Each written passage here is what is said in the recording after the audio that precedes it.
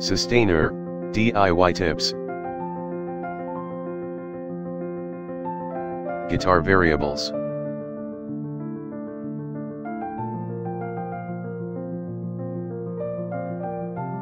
From the last video that I did, I came out with a new concept for a driver. As it turned out, my new sustainer setup worked very well on my guitar.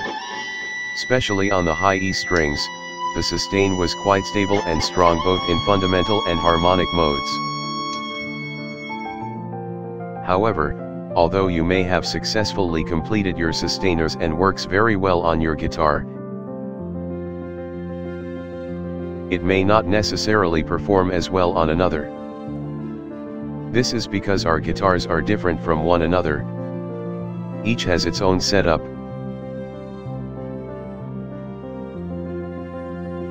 Specification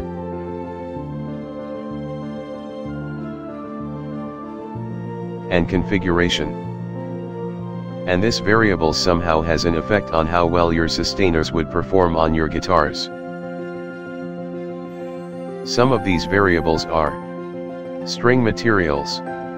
While most people pick their strings based on brands,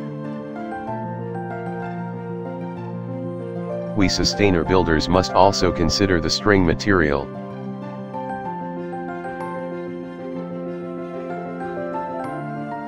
In this experiment, I used two strings with the same gauge but of different materials. See how it reacts to the magnet. The first string responds well by being first to be pulled and the last to be released by the magnet, while the second string does not respond as well.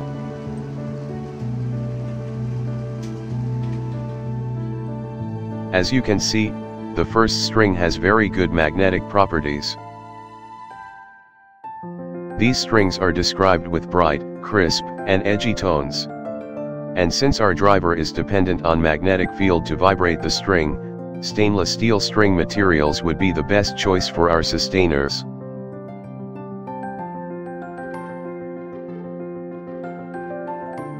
The second variable is, string distance.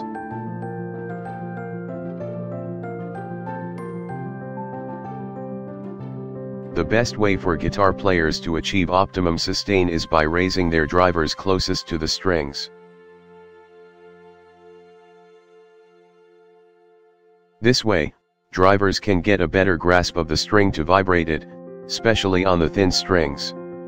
It would also help to keep the distance between the bridge pickup and strings to a minimum as well, since the closer the pickup is, the stronger the signal you send to your driver, thus the stronger the sustain. For string adjustments, lower your driver and pickups first, then press the highest fret on the string and raise both your driver and pickup until it touches the string, then slowly back it up until the driver and pickups are clear of the strings while vibrating.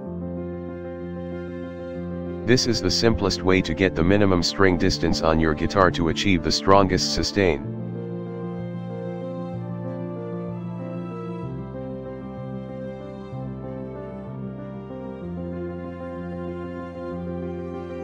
The third variable is, bridge pickup. Your sustainer system is dependent on the quality of the signal it is receiving. The better the signal, the stronger your sustain. Therefore it would be best to have a high output pickup in your system. Better yet, a high output humbucker pickup.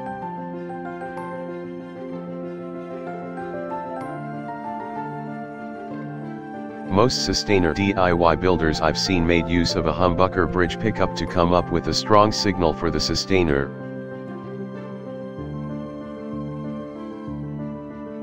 Might as well invest in one if you're still into single coils. One other factor also to be considered is the volume adjustments of your guitar.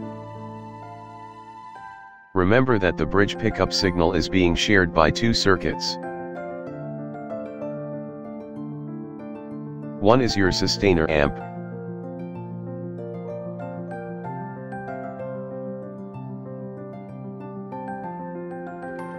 And the other is the guitar amp, where your guitar is plugged into.